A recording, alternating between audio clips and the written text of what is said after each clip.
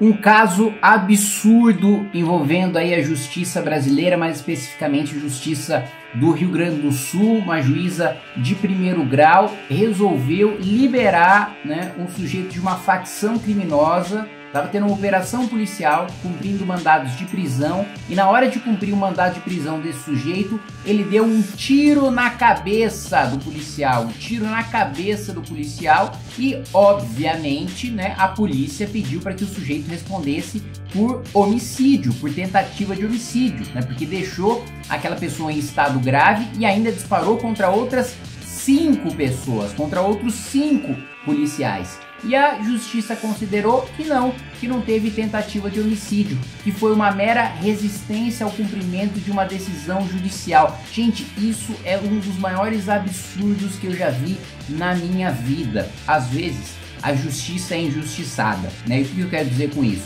Às vezes o juiz ele só faz cumprir uma lei que foi aprovada pelo Congresso Nacional e sancionada pelo presidente da República. Ele não tem culpa nenhuma daquilo ser lei. Né? Quem é o culpado são os parlamentares e o presidente da República que votaram e que aprovaram aquela lei. Né? Às vezes a gente fica revoltado com decisões judiciais que na verdade é o cumprimento da lei. E isso precisamos voltar a nossa revolta contra o Congresso Nacional e o presidente da República que aprovaram isso e não contra o juiz que proferiu a decisão que ele está sendo uma mera boca da lei. Ele está reproduzindo aquilo que está no texto da lei. Agora, esse caso não.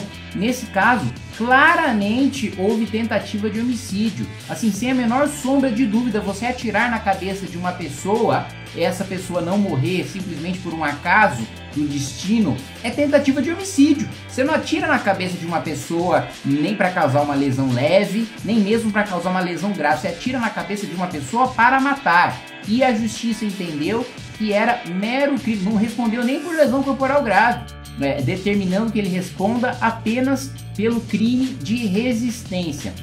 A gente vai falar sobre esse caso logo depois que você se inscrever no canal, que você clicar no sininho para receber as notificações, você deixar o seu like, compartilhar esse vídeo e eu te lembrar também que nós estamos no processo de prévias no Movimento Brasil Livre para decidir quem será o nosso pré-candidato à Prefeitura de São Paulo em 2024. Eu estou disputando com o nosso deputado estadual, o Guto Zacarias. Já tivemos uma primeira sabatina com a população na Avenida Paulista que deve ser aí publicada é, nos próximos dias, né? Uma parte no meu canal, outra parte no canal do Guto e teremos também um debate direto, né, entre mim e o Guto. Se você é um dos 12 mil assinantes do clube ou integrantes da Academia MBL, eu peço que você me escolha, vote aí no meu nome nas prévias do Movimento Brasil Livre para representar o movimento nessa pré-campanha, nessa pré-candidatura à Prefeitura de São Paulo. Bom, vamos lá. O caso aconteceu na cidade de Rio Grande, né, no Rio Grande do Sul.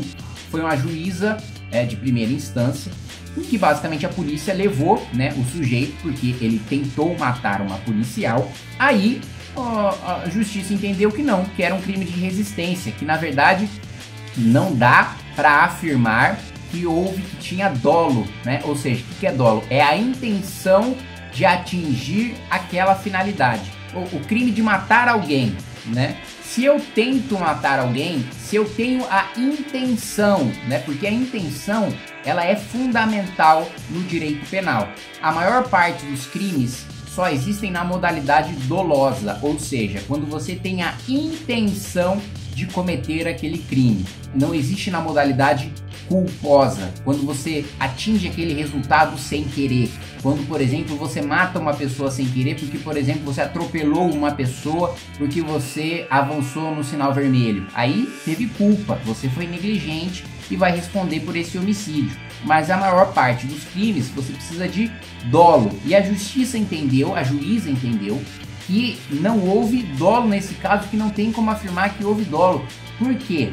A defesa desse criminoso argumentou que ele estava sendo ameaçado por uma facção criminosa rival, né? Ou seja, ele é um membro de facção criminosa, ele assume que é membro de facção criminosa. A operação policial foi feita com mandado de prisão contra ele, porque ele é de uma facção criminosa que comete tráfico de drogas comandado por um sujeito, por um líder que está no presídio, que é outro problema estrutural e absurdo é, do Brasil. Os presídios eles não são uh, uh, governados ali pelo Estado, eles não são, eles não estão sob a tutela do governo. Os presídios estão sob a tutela do crime organizado.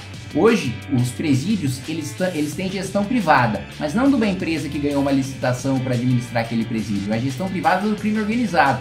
E os criminosos comandam um crime de dentro dos presídios. Pois muito bem, esse sujeito, de uma facção criminosa liderada por um sujeito que já está preso, ele argumentou que ele tinha recebido ameaças de uma facção rival e que ele estava, né, ele imaginou quando uh, uh, ouviu os policiais batendo a sua porta, ele imaginou que eram os seus inimigos e por isso atirou contra eles no que ele argumentou que seria uma legítima defesa né? Ou uma legítima defesa putativa. O que é uma legítima defesa putativa? É quando você acha que está agindo em legítima defesa, mas não está, porque não tem ninguém de fato te agredindo, mas parece muito que tem alguém te agredindo, parece muito que você está na iminência de sofrer uma agressão e aí você age em legítima defesa putativa, que é quando você né, tem, essa, tem essa conduta e aí você não vai responder por nenhum crime na justiça, porque né, a legítima defesa ela é um excludente de culpabilidade, né? Você não é, não pode ser culpado por se defender, mesmo quando você se defende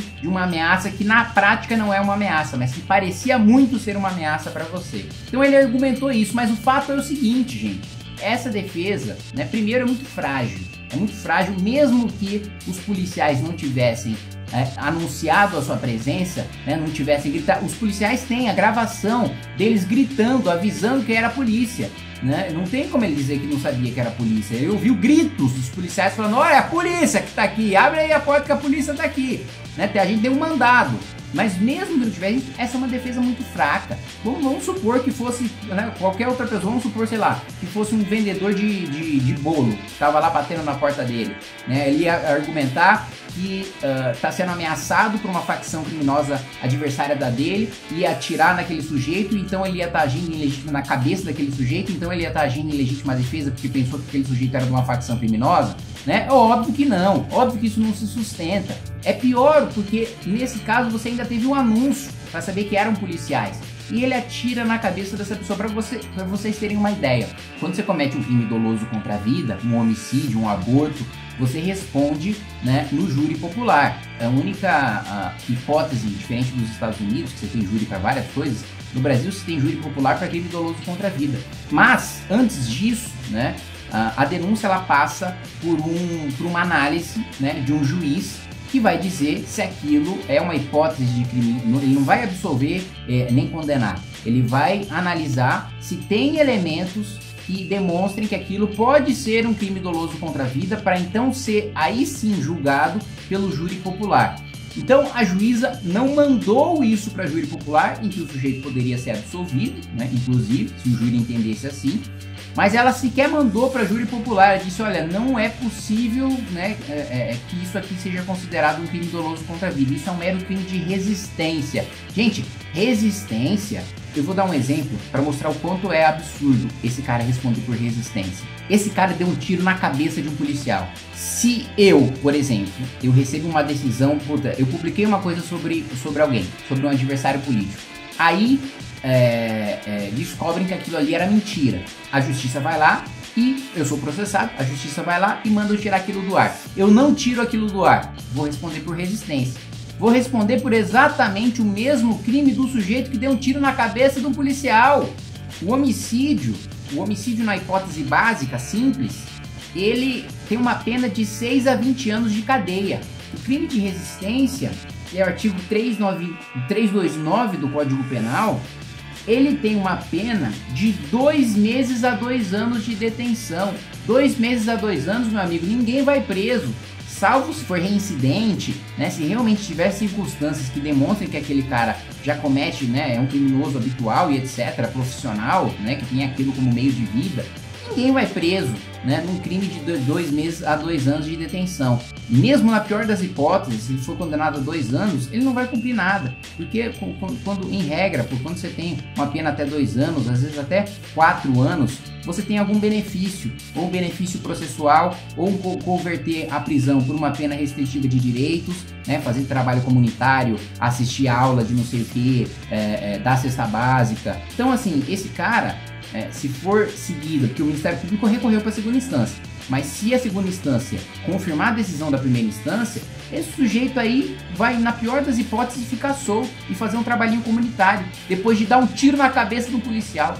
Eu não sou, eu não sou um promotor que está atuando ali nesse caso, mas se eu fosse promotor, eu sem dúvida nenhuma ia acionar o Conselho Nacional de Justiça contra essa juíza que claramente está tomando uma decisão ilegal, que claramente está tomando uma decisão que não se sustenta.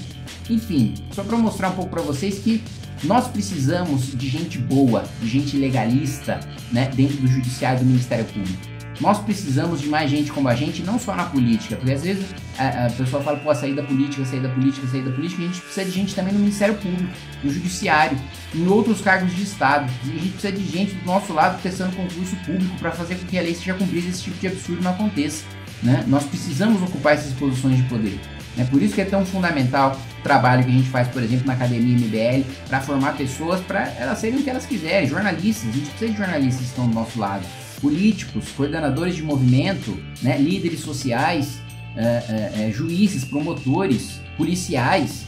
Né? Nós precisamos de pessoas alinhadas no nosso pensamento né, em todas as instituições, né, públicas e privadas, para a gente não viver sob a tutela né, desse tipo de decisão. É isso, meus amigos. Um abraço e até mais.